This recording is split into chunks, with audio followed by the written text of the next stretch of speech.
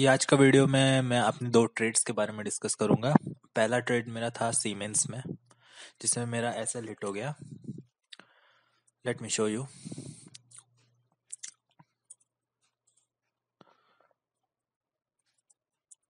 alright this is the Siemens तो इसमें क्या हुआ? एक्चुअली अराउंड uh, यहाँ पे मैंने शॉर्ट किया था। एक हज़ार चौवन पे। ओके। पर हुआ क्या? यहाँ पे, यहाँ तक आया तो मैं एग्जिट मैंने फिफ्टी परसेंट पोजिशन तो अपनी एग्जिट कर ली थी बट ये ये जो दो कैंडल्स आप देख रहे हो बनी हुई हैं, ये एक मिनट का चार्ट है सीमेंस का। तो दस बज के तेरह मिनट पे जो ये कैंडल बनी थी, ये जितना टाइम इसने अराउंड यहाँ से नौ बज के पचास मिनट से लेके दस बज दस बज के बारह मिनट। मतलब अराउंड बीस मिनट में जितना ये डाउन साइड मूवमेंट दिया, सिर्फ़ दो कैंडल में मतलब दो मिनट के अंदर इसने वापस वो वहीं पे आ गया। इतनी, इतना बिग वॉल्यूम आ गया था इस पर तो इसके कारण मेरा एस एल वहीं पे हिट हो गया। तो एक्चुअली जब मैं सीख रहा था तो मेरे साथ क्या होता था कि मैं एस एल बहुत बड़ा बहुत बड़ा डालता था। तो होता क्या था कि आ, मैं सोचता था कि यहाँ से रिवर्स हो जाएगा। तो बट ये रिवर्स नहीं होता था। तो ज, जब यहाँ पे ये पहुँच गया एक हज़ार पैंसठ पे तब मैं एग्जिट होता था। तो इसके कारण मेरा बहुत लॉस हो चुका था। बट अब मैं एस एल को अपने काबू में रखता हूँ। जहाँ पे डालना है वहीं पे डालता हूँ। और हमेशा ट्रेल करना चाहिए एसएल जैसे कि आप देख रहे हैं कि यहाँ से इतना डाउन साइड मूव आ गया है अराउंड तो आप यहाँ पे अपना एसएल ट्रेल भी कर सकते हो। जिससे चांसेस बहुत कम रहते हैं कि आपके लॉस होने के। तो इस कारण मेरा ये एस एल चला गया तो कोई दिक्कत नहीं है। फिर नेक्स्ट ट्रेड जो मेरा था वो सीट लिमिटेड का था। तो इस पर मैंने थोड़ा सा मैंने लेट कैच किया था क्योंकि मैं इसमें बिज़ी था। तो अराउंड यहाँ पे मैंने इसको कैच किया अराउंड दस बज के पैंतीस मिनट पे। तो ये मैंने देखा कि ऑलरेडी ये डाउन ट्रेंड पे चला गया था। तो according to the price action फिर मैंने ट्रेंड लाइंस वगैरह ड्रॉ करना शुरू किया। फिर मैंने देखा कि इसने इस ट्रेंड लाइन को इस यहाँ पे ब्रेक किया ओके तो जब भी कोई स्टॉक अपनी ट्रेंड लाइन को ब्रेक करता है तो वो एक दूसरी ट्रेंड लाइन बनाता है। तो मैंने इसको देखा कि ये ये एक ट्रेंड लाइन बना रहा है, जिसपे प्रॉपर सपोर्ट मिल रहा है इसे। बट इसने यहाँ पे भी इसे ब्रेक कर दिया ओके तो यहाँ पे मैंने इसे शॉर्ट कर दिया। फिर यहाँ पे मैं बुक एग्जिट हो गया। मैं बुक एग्जिट हो गया इस वाली कैंडल पे। फिर फिर मैंने नोटिस फिर मैंने ट्रेड नहीं लिया इसमें। फिर आप देखेंगे कि आ, फिर ये ऊपर नीचे ऊपर नीचे होता रहा। तो एक्चुअली इसमें एक नोटिस करने वाली चीज़ है कि लेट मी शो यू यहाँ पे इसने आ, तीन बार सपोर्ट ये बहुत स्ट्रांग सपोर्ट था इसका। तो इसने यहाँ पे सपोर्ट बनाया इसने यहाँ पे। आप देख सकते हैं यहाँ पे इसने तीन तीन बार यहाँ सपोर्ट से रिवर्सल लिया। और रिवर्सल लेने के बाद ये फोर्थ टाइम जब यहाँ पे इसने आने की कोशिश की। सॉरी सो आप देख सकते हैं कि ये जो सपोर्ट पॉइंट था let me show okay so आप देख सकते हैं कि ये जो सपोर्ट लाइन इसकी है थ्री थ्री टाइम ट्रिपल पहले डबल बॉटम बनाया उसके बाद इसने ट्रिपल बॉटम बनाया। ओके okay, इसके बाद आ, अगर आपने प्राइस एक्शन पड़ा हुआ है तो उसमें जस्ट डबल बॉटम होता है या फिर ट्रिपल बॉटम होता है। तो ये इसने फोर्थ टाइम जब इसने बॉटम बनाने की कोशिश की तब यहाँ से रिवर्सल थोड़ा टिपिकल था बट आप देख सकते हैं कि यहाँ पे इसने ब्रेकआउट तो दिया बट वापस से ये ऊपर जा रहा है। तो इसको मैं एक्सप्लेन करूँगा कि टीजिंग ब्रेकआउट्स क्या होते हैं। Okay so let me show you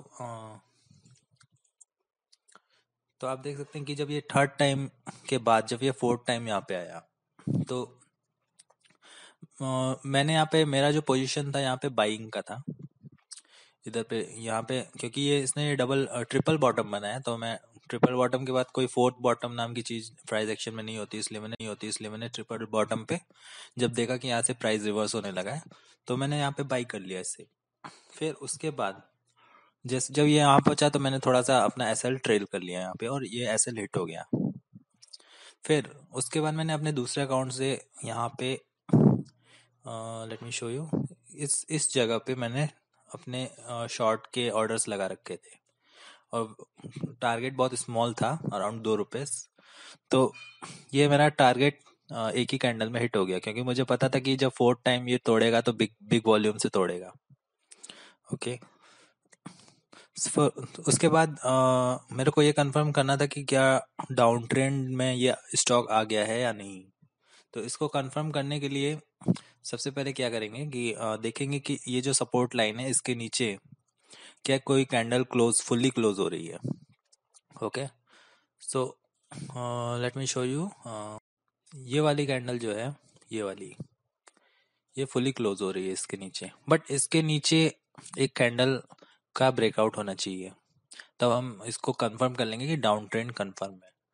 but जब भी कभी बहुत बड़ी कैंडल बनती है तो उसका रिवर्सल आता ही है.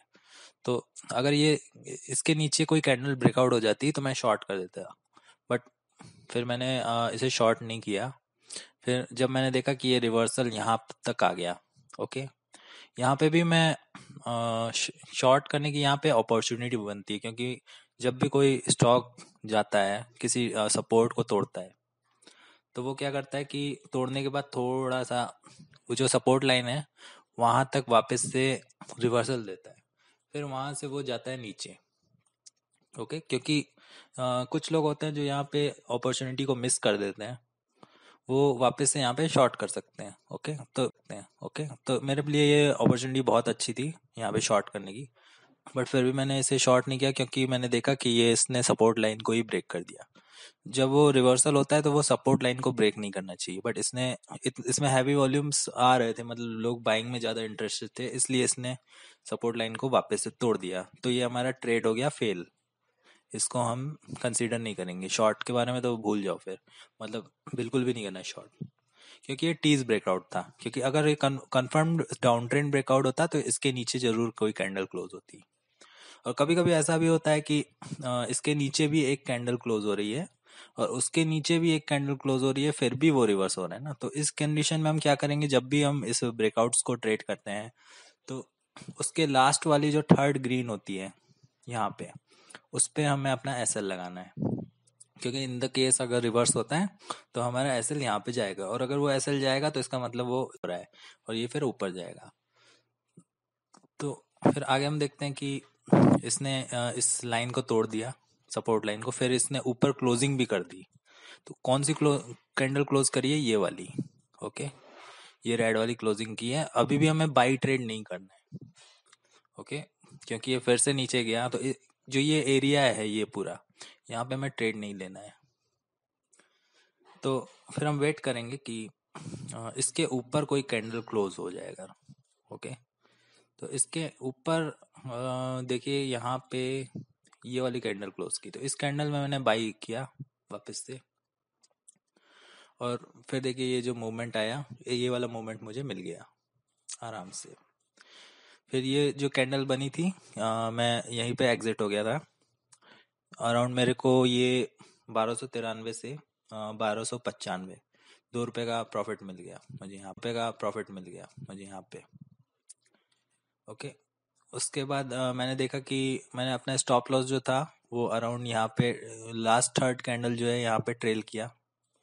और फिर ये थोड़ा सा नीचे आया और इसने ये एसएल हिट कर दिया। तो मुझे अराउंड दो रुपये ही मिले इसमें। But this was a valid trade और यहाँ पे ये जो ये जो चीज़ होती है ये ट्रैप होती है मोस्टली जो जो लोग प्राइस एक्शन प्रॉपरली नहीं पढ़ते हैं। वो क्या करते हैं, वो देखेंगे कि यहाँ से भी कैंडल ब्रेकआउट कर दिया हाँ मतलब डाउन ट्रेंड पे चला गया, बट ये ट्रैप्स होते हैं। इस पर आप फंस सकते हो, सो इसको प्रॉपर स्टडी करने के बाद ही आप अप्लाई कर सकते हो उसको। तो अभी भी देखिए, ये वापस से ऊपर जा रहा है तो और दूसरी चीज़ ये है कि देखिए, इसने एक ट्रेंड लाइन फॉर्म कर ली। Let me show you okay जब जब इसने ब्रेकआउट दिया, जब तो ये जब वापस से ऊपर जाने लगा तो आप जब देखोगे कि ये जो ट्रेंड लाइन है, एक ट्रेंड लाइन आप बना सकते हो इस टाइप से, जो ये प्रॉपर फॉलो करेगा। और वो ट्रेंड लाइन जो आप बनाओगे, वो पैरेलल होनी चाहिए। मतलब जिस डायरेक्शन में ये है, वैसी एग्जैक्टली क्लोन लाइन होनी चाहिए। तो अगर वो उसको फॉलो कर रहा है तो समझ लो कि मतलब इसके अंदर ये जो आपका नीचे जब आए प्राइस तो खरीदना है और ऊपर जाए तो अपना एग्जिट होना है या फिफ्टी परसेंट पोजिशन आपको अपना एग्जिट कर लेना है। तो देखिए जब इसे फॉलो करने लगा ये तो मुझे कहाँ पर पता चला कि ये ट्रेंड लाइन फॉलो कर रहा है? ओके जब ये स्टॉक यहाँ से वापस रिवर्स हुआ तो मैंने एक ट्रेंड लाइन इसका जो डायरेक्शन होता है मोस्टली 45 डिग्री होता है प्रॉपरली बट ये कुछ भी हो सकता है बट जो वर्क करता है, वो 45 डिग्री होता है। तो इस पे आप देखिए जो यहाँ पे जो ये रिवर्सल आया था तो तब मुझे कंफर्म हो गया था कि हाँ ये ट्रेंड लाइन बना रहा है। तो मैंने सबसे पहले ये वाली ड्रॉ करी, फिर दूसरी वाली ये ड्रॉ करी, फिर दूसरी वाली ये ड्रॉ करी। फिर उसके बाद आप देख सकते हैं कि ये प्रॉपरली फॉलो कर रहा है और इसने यहाँ पे वैसे ब्रेक भी कर दी। तो जब ब्रेक कर दे तो फिर मैं, मेरे को अच्छा प्रॉफिट मिल गया था तो मैं एग्जिट हो गया यहाँ पे।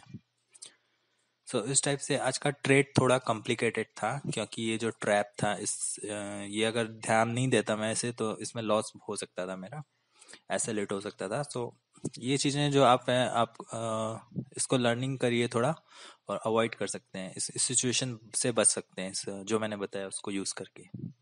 और right so that's all thank you और दूसरी चीज़ ये जो सीमेंस में मेरा साइमेंस में मेरा जो ये स्टॉप लॉस हिट हुआ तो ये एक्चुअली इतना फास्ट देखिए जब आदमी मतलब यहाँ से आपको वेट कर रहे हो इतना बीस मिनट वेट कर रहे हो तो आपको एक ऐसा लगता है कि हाँ कि इसकी स्पीड जो है मूवमेंट की स्टॉक की, वो थोड़ी स्लो है। मतलब बीस मिनट में ये इतना गिरा तो एकदम से आप एक्सपेक्ट नहीं कर सकते कि दो मिनट में ये दो कैंडल से ही इतना चल जाएगा। जैसे हाई वोलेटिलिटी हाई वोलेटिलिटी के कारण जो ये हुआ।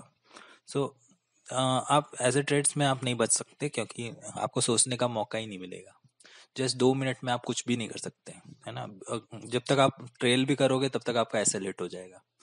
तो यही जो ऐसे स्टॉक्स हैं जैसे साइमेंस है और यूपीएल है बहुत सारे कुछ स्टॉक्स हैं जो वॉलेटाइल बहुत होते हैं उनको आप अवॉइड करो अगर आपको लॉस हो रहा है तो। बिल्कुल भी इसे ट्रेड मत करो। और जो आ, आ, जो मतलब नॉर्मली चलते स्टॉक्स जैसे इन्फोसिस हो गया और SBI हो गया, उन सबको आप ट्रेड कर सकते हो, बिल्कुल। और राइट सो इस वीडियो में मेरा जर्नल यही था कि आज के ट्रेड्स क्या हुआ, कैसे हुआ।